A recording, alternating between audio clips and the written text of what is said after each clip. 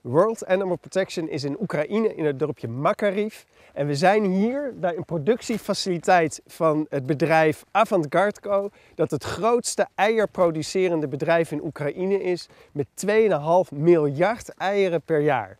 En dat betekent dat dit bedrijf miljoenen kippen houdt in kooien. En achter deze muren moet je je voorstellen staan schuren met gigantische legbatterijen. Avantgardco heeft geen publiek dierenwelzijnsbeleid. En dankzij de lage kostprijs en het associatieverdrag van de EU met de Oekraïne kunnen eieren uit kale legbatterijen, een productiewijze die in de EU is verboden, toch de Europese markt op.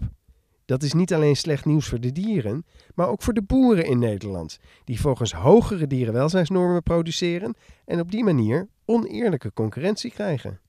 Nou, dit bedrijf is mede mogelijk geworden door steun van de Nederlandse overheid, die Nederlandse bedrijven die hier zaken doen faciliteert. World Animal Protection vindt dat de overheid veel striktere dierenwelzijnseisen moet stellen als het hulp biedt aan bedrijven die zaken doen in het buitenland en is daarom een petitie gestart gericht aan minister Kaag van Buitenlandse Handel.